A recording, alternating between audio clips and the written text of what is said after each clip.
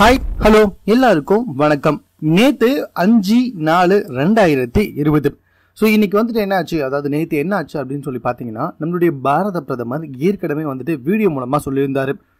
Corona என்னும் இருளால் நாடு சூழப்பட்டிருக்கு. So அந்த இருளை போக்குவதற்காக வந்துட்டு வெளிச்சத்தை ஏற்றுங்கள் அப்படின்ற மாதிரி சொல்லி என்ன சொல்லியிருந்தாருன்னா சரியாக ஒன்பது மணி ஆரம்பிச்சு ஒன்பது நிமிடங்களுக்கு வீட்டில் இருக்க விளக்குகளை அணைத்து விட்டு ஸோ மெழுகுவற்றை ஏற்றுங்க அப்படி இல்லைன்னா வந்துட்டு விளக்கு ஏற்றுங்கள் அப்படி இல்லைனா வந்துட்டு டார்ச் அடிங்க அப்படின்ற மாதிரி வந்துட்டு சொல்லியிருந்தார். ஸோ இதனால் வந்துட்டு ஏகப்பட்ட பேசும் விவாதங்கள் சமூக வலைத்தளத்தில் எழ ஆரம்பிச்சது. சில பேர் வந்துட்டு கொரோனாவுக்கு மருந்து கண்டுபிடிக்கணும் பார்த்துட்டு இருக்காங்க நிறைய பேர். வென்டிலேட்டர்ஸ் தேவையான அளவுக்கு இருக்கான்னு தெரியல. முகக்கசம் கவசங்கள் தேவையான அளவுக்கு இருக்கான்னு தெரியல. இப்படி பல பிரச்சனைகள் நாட்டில் போயிட்டு இருக்கு ஏழை மக்கள்லாம் சாப்பிட்டாங்களா என்னன்னு தெரியல.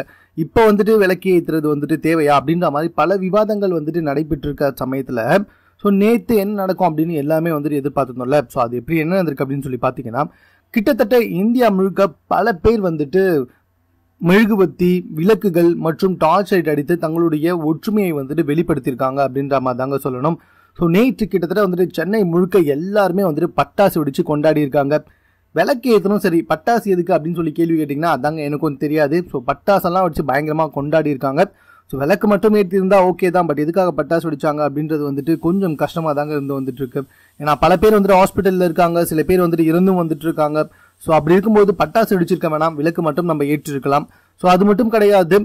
தமிழ் சினிமாவை சார்ந்த பல நட்சத்திரங்கள் வந்துட்டு பிரதமர் மோடியின் வேண்டுதலுக்கேற்ப தன்னுடைய வீட்டில் வந்துட்டு விளக்குகளை அணைத்து விட்டு விளக்குகள் ஏற்றி நின்று இருந்தாங்க ஸோ நம்மளுடைய சூப்பர் ஸ்டார் ரஜினிகாந்த் கூட வந்துட்டு அவருடைய கேட்டுக்கு முன்னாடியே வந்து வானத்தை நோக்கி கையை உயர்த்தி மெழுகுவத்தி ஏற்றி வச்சிருந்தாரு. ஸோ அந்த புகைப்படமும் வந்துட்டு சமூக வலைத்தளத்தில் ரொம்ப வைரலாக பரவி வந்துட்டுருக்கு.